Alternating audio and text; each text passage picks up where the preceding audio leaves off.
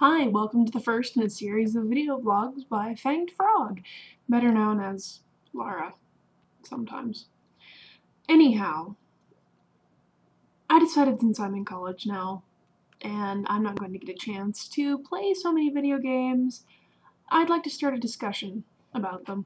And I will be reviewing different video games as a side project throughout this entire series. Um, feel free to give me suggestions. I have available to me an Xbox 360, a Wii, GameCube. Somewhere I've got a Dreamcast, I've got an original Xbox, a DS. So if I have the game, if I can find the game cheaply, and I have the system for it, I'll do a review. Uh, I've seen a lot of Dead Space reviews that I've liked. Uh, probably won't do Dead Space because, well, I have a surprise for that one, if I get around to it. Um, right now, I'd just like to open a discussion topic. Um, does anyone here play Fable?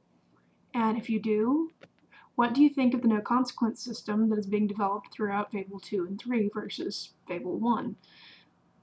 Personally, I'm not a big fan of it. I want there to be a consequence for failure in video games, otherwise there's no point. If it's not hard enough, then there's no point.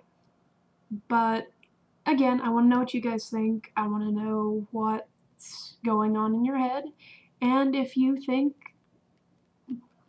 you know, there is a video game you want shown, please tell me and I will do my best to show it. Um, can't really think of anything else at the moment. Uh,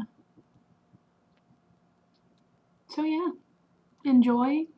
Hopefully the videos will be interesting enough to keep you enthralled. I look forward to seeing all of you, and by seeing all of you, I mean staring at YouTube and never meeting any of you, because I'm lame that way, and I don't actually exist. I'm on the internet. So, that'd be it.